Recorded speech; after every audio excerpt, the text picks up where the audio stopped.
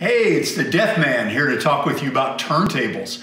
A great option is one of these compact all-in-one turntables. This one's from Crosley. Some people call them a suitcase or a portable record player. Basically, you get a turntable with built-in amplification and speakers all in, in one unit. Um, these are the ultimate plug and play. So they're great if you're tight on space, so dorm rooms, apartments, the cabin at the lake.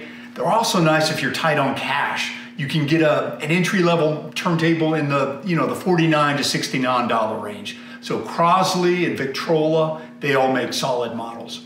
A lot of these have kind of a cool retro look because portables really go back to the 1950s. Uh, back then you showed up at a party with a portable player and some chubby checkers and it was on.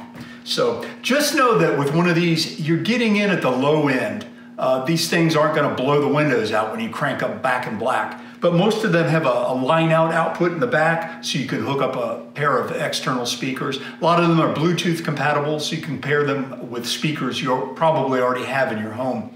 And a lot of them have a USB port for you to run to your computer and transfer your vinyl to audio files. So nice also to have a headphone jack. Uh, your roommates will thank you.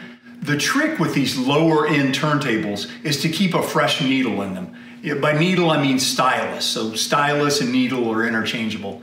If you notice any sound degradation, any kind of muffled, garbled sound, it's probably the stylus. And you can order replacements on our Amazon or through the manufacturer. And some of these players actually come with an extra needle or two.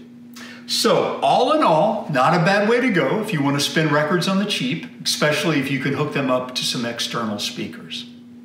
So if you have any questions, drop us a comment and be sure to subscribe for more great content on uh, turntables, vinyl records, and enjoying your music.